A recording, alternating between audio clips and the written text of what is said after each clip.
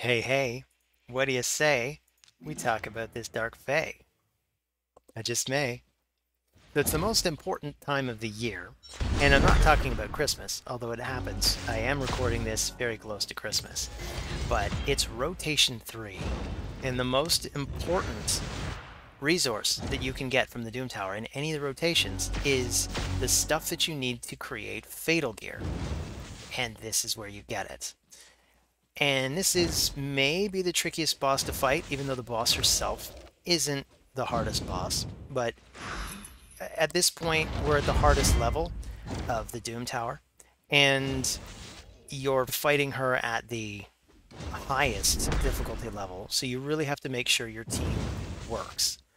So the most general advice I was ever given when I first started playing this game was play through the Dark Fae the way you would play through the arena.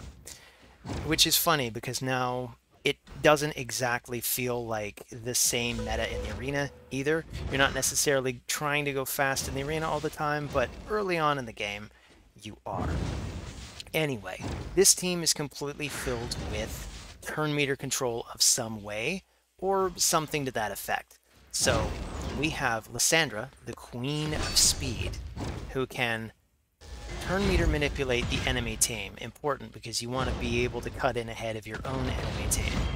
Then we have Allure, the queen of turn meter manipulation from the demon faction. We have Newt. Everybody knows about Newt. I mean, just look at the way he's taking chunks out of the Dark Fae. I uh, I used to have a team that took like 10 minutes to turn meter control her. Newt has completely altered that. You of course have Royal Guard here, who's got the slow, which we didn't actually get inflicted this time. So uh, this is a suboptimal run, it's looking like, but uh, when you get that slow on her, there's no way for her to take a turn. If she happens to take a turn, though, there are a lot of ways on this team to take it back. And one of the greatest champions on this team is Hurndig, because he can cycle through his moves just about endlessly. So that's the run. This is my first attempt of the of the month. The proof is here in me getting the shard. Uh, I could run it a bunch of times, but I'm not going to. I'm just going to ask you to trust me, but we are going to look at the team. So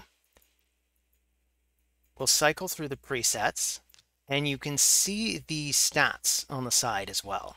So with Lysandra, basically, she's just going to do her A1 until she gets to the third wave.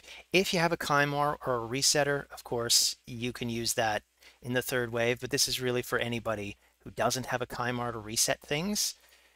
This way, you know that you're holding off on anything you might need until you get to the third wave, where you, you really need to hit the ground running in the third wave.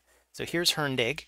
I basically try to keep uh, one of his moves off permanent use so that he can have it on the third wave. Then we got Royal Guard here. He just reserves his takedown from, from wave two, so it can be ready on wave three. And Allure, really, I, um, I just use the A2 at the beginning of the round and then never again in all three. This is basically how it works. And uh, that's about it. So thanks for joining. See you on the next video. Take care.